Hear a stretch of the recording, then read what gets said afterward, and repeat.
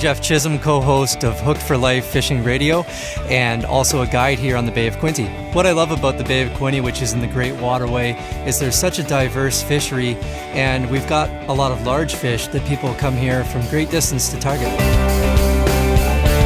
I'm from uh, Toronto area, just north of the city. I'm actually from Richmond Hill. I've been fishing the region for over 20 years now. There's a lot of diverse fish that we can catch throughout the area and throughout the season. This is a, a very special area that we get to fish all the way up until Christmas time usually. We're fortunate to have such an open season and catching monster walleyes as well.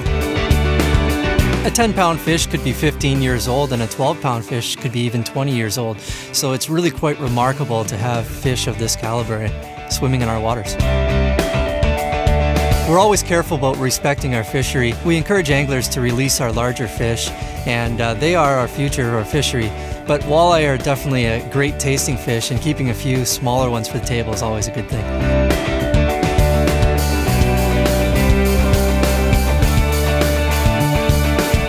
Our walleye spend their summers in Lake Ontario feeding up on uh, large schools of bait fish. And in the fall, those fish enter the Bay of Quinte, and they're just, it's the best place in the world to get a large trophy walleye.